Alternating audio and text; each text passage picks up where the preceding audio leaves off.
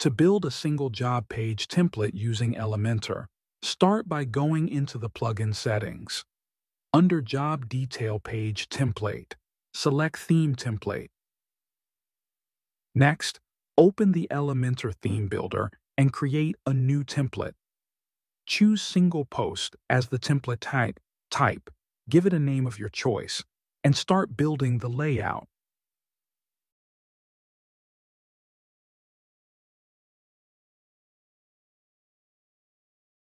Add the post title widget.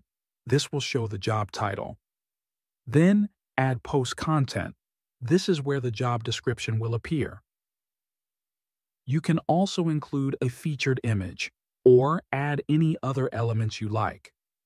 Feel free to experiment with different layouts, sections, buttons, whatever you need.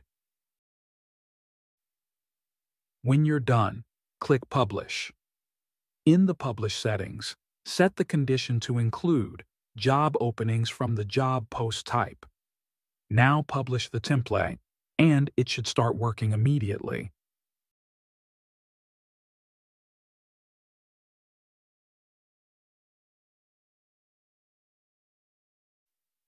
Just make sure that featured image is enabled in the WP job opening settings if you're using it in your layout. That's it. You can now test your new job template.